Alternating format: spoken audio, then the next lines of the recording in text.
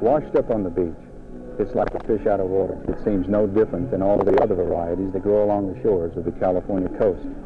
Maybe it's a little better for skipping rope or decorating sandcastles.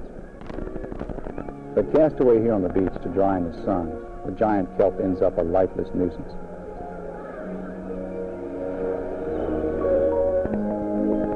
But if people could visit the incredible forest under the sea where it grows, they would see vegetation as lush as anything on land, like forest of redwood, pine, or oak, a haven for animal life, and a natural resource invaluable to man. My job takes me deep into those forests under the sea, and I see the giant kelp like no one on land ever can.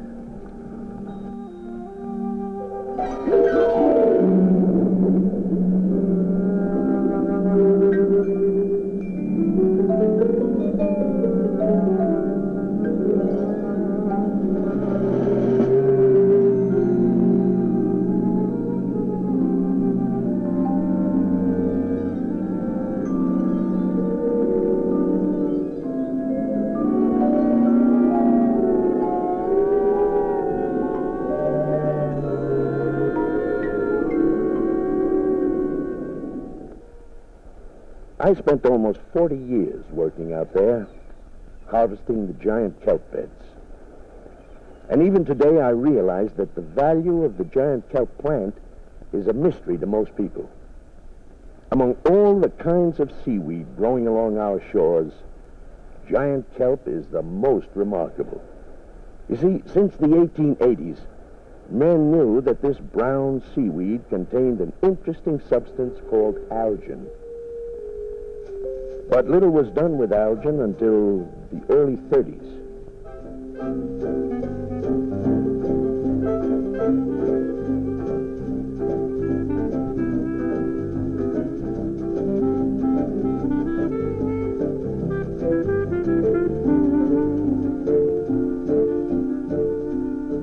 Back then, about the only thing algin was used for was to make a can sealing compound.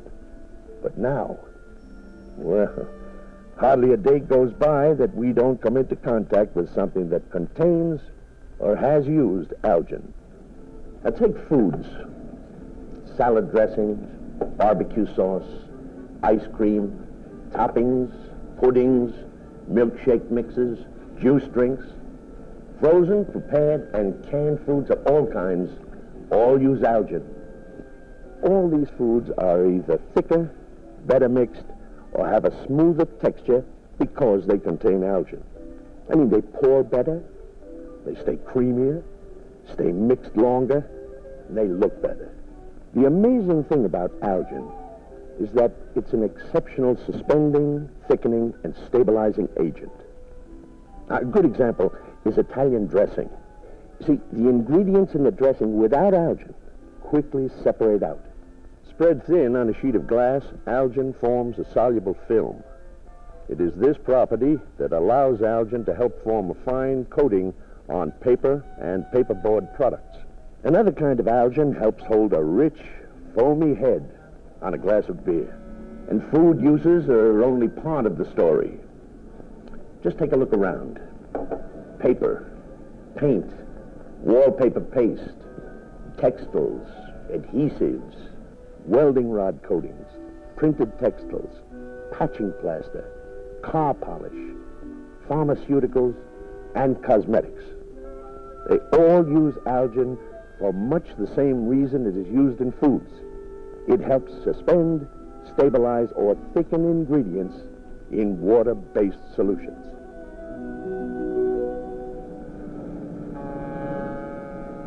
There's the harvester I used to skipper coming into port.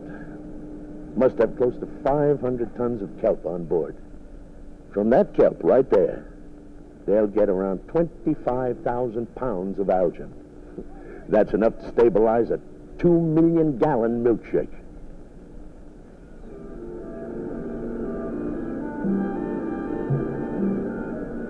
The kelp is brought from up and down the California coast to the processing plant in San Diego. It's chopped, leached, filtered, sterilized, mixed with other ingredients, and sent through a maze of pipes. Heated, treated, strained, and dried, all just to produce that algin.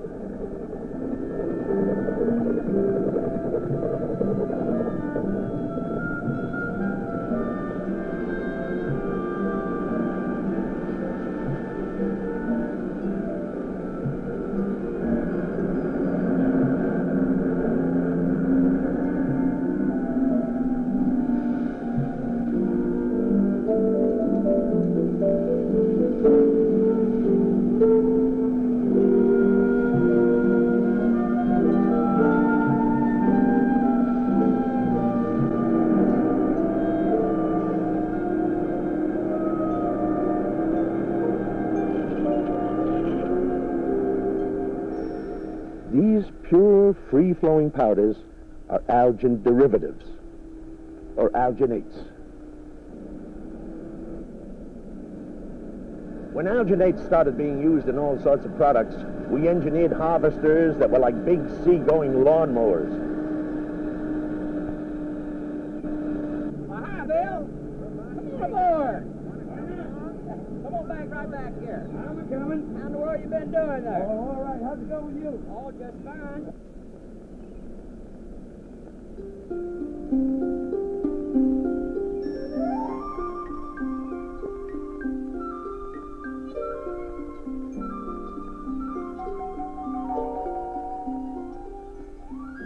Large cutting racks work through the kelp canopy, drawing the kelp strands up into the bin.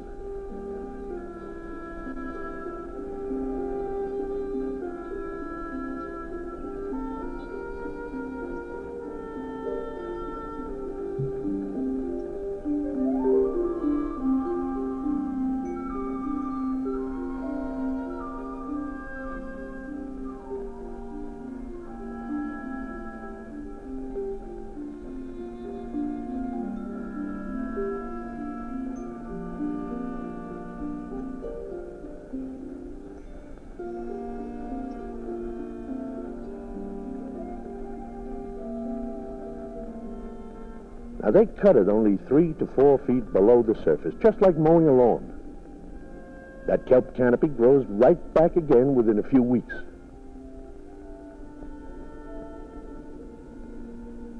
Years ago, many of the kelp beds off Southern California dwindled dangerously close to extinction. The Pacific had cycled into a period of warmer water, and kelp cannot survive in water above 70 degrees.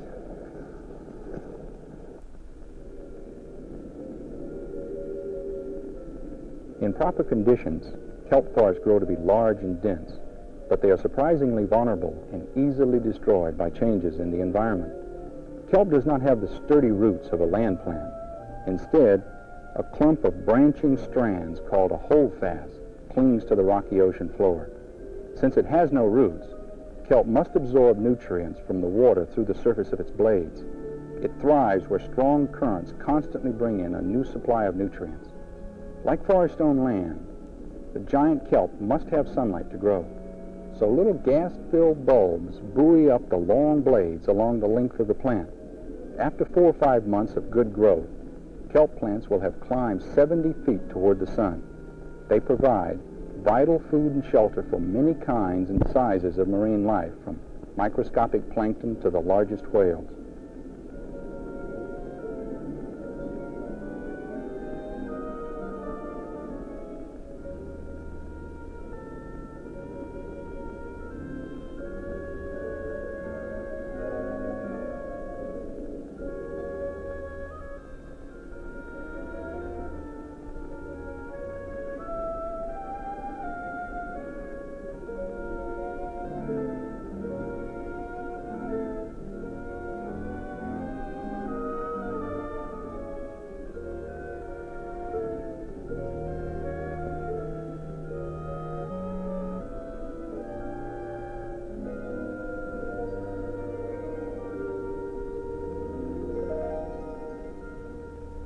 Years ago, before we were harvesting, big drifts of old kelp would be broken off by storms and pile up on shore, sometimes as high as eight to ten feet. Well, today the problem isn't nearly as great, and a great part of the reason is regular harvesting. You see, harvesting actually promotes growth in the kelp beds. If that top layer, it's what we call the canopy, of the kelp bed isn't harvested, the old strands will just naturally die, drift away, and contribute to those smelly piles of beach litter. And another thing, regular harvesting of the canopy lets in more sunlight, and sunlight encourages growth of the younger plants in those lush forests out there. But I can remember when we were in real danger of losing many of the kelp beds along the southern California coast. They all but disappeared off Los Angeles and Orange County. Our marine biologists had a real problem on their hands.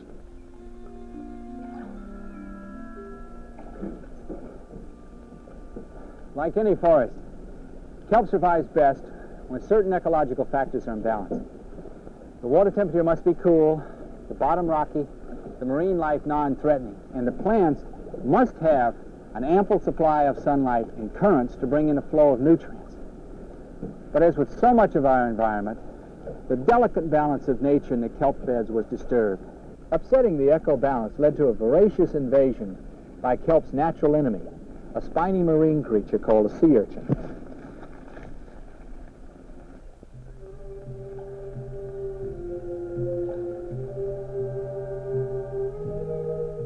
By the early 1950s, many kelp beds were a fraction of the size they were in the old days. Hordes of urchins had been moving through the beds like locusts through a wheat field. We found that they could devour 30 feet of bottom growth a month, biting through the holdfast and freeing the plant to float away with the currents and die on the beach. Man had inadvertently contributed to the urchin population explosion. During the 19th and early 20th century, he had nearly hunted the sea otter into extinction. Sea urchins are a favorite food of the otters, who use rocks as tools to break them open. Without the otters to feed on them, the urchins were left to multiply virtually unchecked. Then there was a problem of sewage pumped from the cities out to sea. Sewage can cover the rocky ocean bottom with silt, preventing the growth of new plants leaving nothing for the kelp's holdfast to cling to. The cloudy waters screen out life-giving sunlight. The result can be a devastated landscape. Fortunately, the marine scientists stepped in before it was too late for the kelp forest. By 1962, the Scripps Institution of Oceanography, under a Kelco grant, began the Kelp Habitat Improvement Project, continued by California Institute of Technology. This project identified the role of the sea urchin in the deterioration of the beds. Through research, ways were found to control the sea urchins.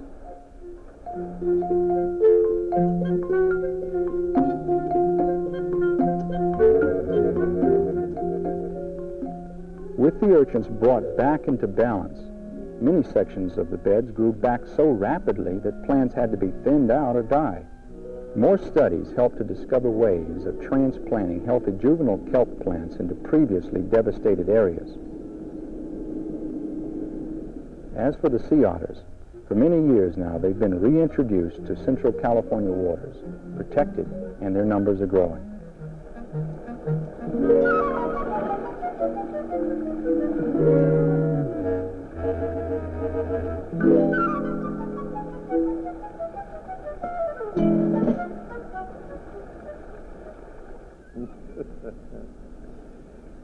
Kelp harvesting is conducted under the regulation of the California Department of Fish and Game, and kelp forests, through responsible management and conservation measures, are beginning to near the generous boundaries occupied some 60 years ago. The kelp beds are thriving again, almost back to what they were when I first took the wheel of a harvest. And that means scientists can continue to develop new formulations using algin to solve specific consumer needs.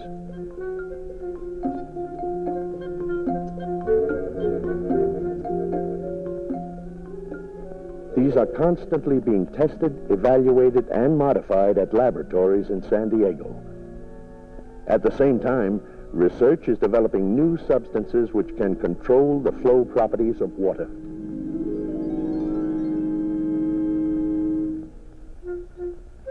This understanding of water control led to the development of a completely new substance in the early 1960s. Called xanthan gum, it's a natural carbohydrate or polysaccharide produced by fermentation.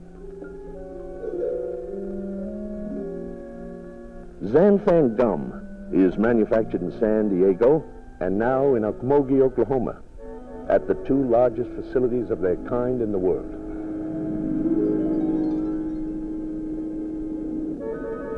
The survival of the kelp beds depends on maintaining the balance of nature. Like the forests on land, it took years for man to understand that the kelp forests are not an unlimited natural resource, and years to understand that the kelp forests need intelligent management if they are to continue as a resource. Change the ecological balance and the giant kelp are as easily destroyed as fire destroys a forest. And if the kelp is destroyed, so also is the marine life it supports. But fortunately, we learned one of nature's most basic lessons. If we want to go on enjoying the benefits of any natural resource, we'll have to protect it, conserve it, and help it to replenish. And if we can remember that, we can go on year after year harvesting the riches of the earth from land and from the sea.